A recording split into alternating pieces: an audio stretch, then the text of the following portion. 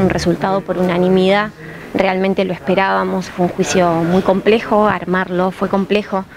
Generalmente eh, lo que sucede en los delitos sexuales, eh, y más cuando ocurren en relación a mujeres, es que se hace todo un andamiaje que tiene que ver con la culpabilidad de la mujer, porque hicimos como lo hicimos eh, y siempre se está enrostrando a la mujer qué es lo que hizo la mujer, por qué no actuó de una manera distinta y nunca nos ponemos a pensar qué es lo que hace el agresor.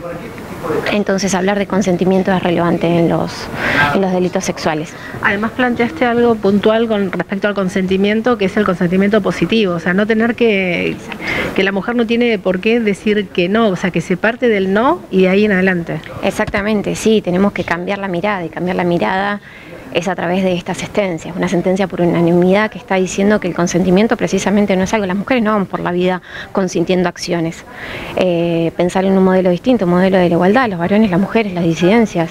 ¿Por qué las mujeres siempre tenemos que estar diciendo que sí? ¿Por qué tenemos la responsabilidad de tener que decir que no? No, de ninguna manera, tenemos que decir que sí. Entonces, eh, hay que empezar a debatir el consentimiento, y más en delitos sexuales porque siempre el juzgamiento es en relación a la víctima, tenemos que mirarlo de otra manera, el enfoque tiene que ser distinto y sentencias como estas muestran precisamente que la justicia está empezando a ver las argumentaciones de las acusaciones y no tanto el juzgamiento en relación a la víctima. Tenemos que dejar de lado qué es lo que la víctima hizo, tenemos que ver qué es lo que el agresor hizo, empezar a ver al agresor, a los agresores. La defensa hizo un planteo que parecía que ponía en jaque a, la acusación, sin embargo hubo unanimidad. Acá intervino la lectura con perspectiva de género. Exactamente, sí, sin duda la, posición de, los tres jueces del tribunal, lo escuchamos recién, además fue por unanimidad, esto es relevante. Sí, y esto muestra justamente que tenemos que dejar estas lecturas estereotipadas. El ejercicio de la defensa, por supuesto, en su rol de, defensa técnica, pero podemos hacer defensas y podemos hacer acusaciones sin tener que poner el foco en la víctima. La víctima viene, denuncia, tiene que pasar un proceso judicial. Hay que dejar de pensar que las mujeres y las disidencias vienen y denuncian de manera caprichosa y atraviesan un proceso judicial como si eso fuese leve. Y entiendo que que esto puede mostrar para que todos y todas quienes somos parte del Poder Judicial, porque somos auxiliares del Poder Judicial, en mi rol de abogada litigante privada, tengo que aportar algo distinto.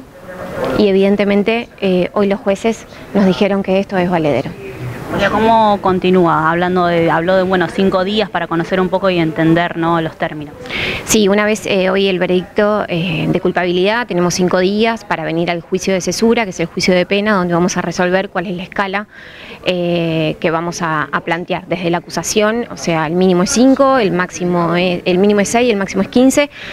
tenemos que traer prueba los efectos de, acreditar cuál es la pena que, pretendemos. Seguramente con la Fiscalía trataremos de unificar criterio y esperaremos a ver qué, resuelve el tribunal.